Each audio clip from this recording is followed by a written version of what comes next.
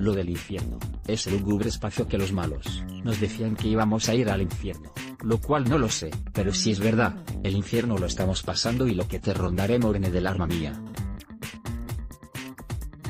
No, no me he equivocado en poner arma. Es la palabra que le viene a este comentario que empiezo a escribir. No hay nada más malo que dejar en el tintero, lo que uno, piensa, reflexiona y le dicta su honor y su moral inquebrantable. Decir, lo que mame, todo cuanto mis padres me enseñaron para ser un buen hombre el día de mañana. Toda madre quiere que sus hijos, creo yo, que, el día de mañana sean de provecho, y enseñanza que sus progenitores le enseñaron en su día, incluso dejando más o menos palabras chabacanas e insultantes, cerradas en el tintero.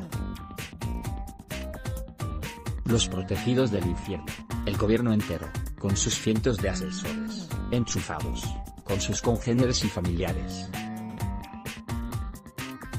los chupatintas que los adoran como si fuesen dioses, y algunos periodistas de medio pelo, a los que entran en las sedes de Podemos, y del PS para ser enchufados. Siempre he dicho que no sé de leyes, pero no soy tonto para ver lo que está bien y lo que está mal, para esto no hay que saber las cuatro reglas, ¿verdad? Para al menos conocer algo de esta verdad o mentira de la ley, me he ido al soplón de la Wikipedia para entrar algo de cintura para arriba, porque si es de cintura para abajo, todo esto no sirve en estos momentos absolutamente para nada.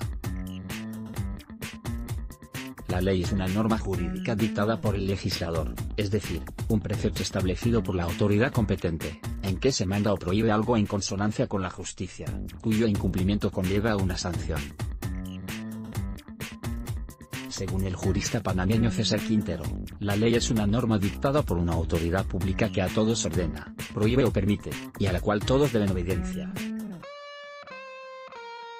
Por otro lado, el jurista venezolano Andrés Bello definió la ley como una declaración de la voluntad soberana que, manifestada en la forma prescrita por la Constitución, manda, prohíbe o permite.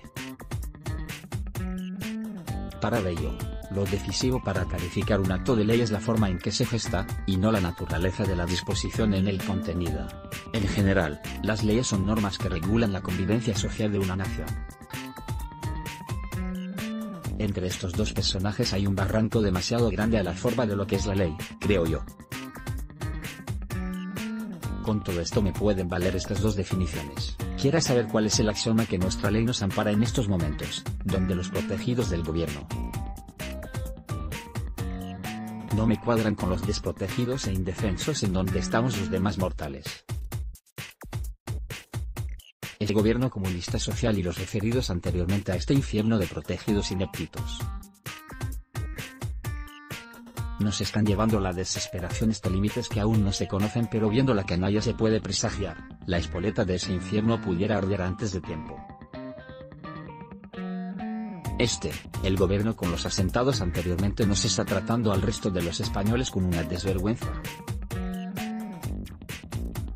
enorme y de total irresponsabilidad jamás vista en un matrimonio político, donde se está destrozando a España para hacerla a sus medidas de ideología comunista social.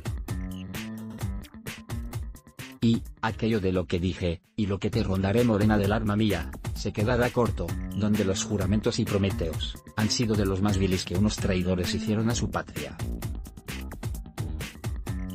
Dejando a la gente de bien, sensata y adormecida con silencios desgarradores, donde poco a poco hemos ido engordando al monstruo de dos cabezas. Englobados en el patriarca de Podemos, y su santidad como bien dice Carlos Herrera. Donde yo le agrego a estos dos varones con B no le subrayo con V, porque no tengo motivos para cambiar de letra. Estos dos cabecillas, los adalides de la mentira y traidores de España, la están saqueando de norte a sur y de este a oeste.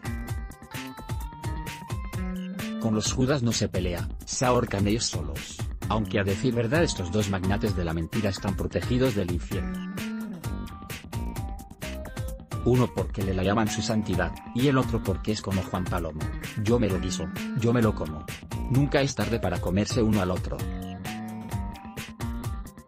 Aunque la verdad, la suerte no es para los pobres, mejor dicho, para los cobardes.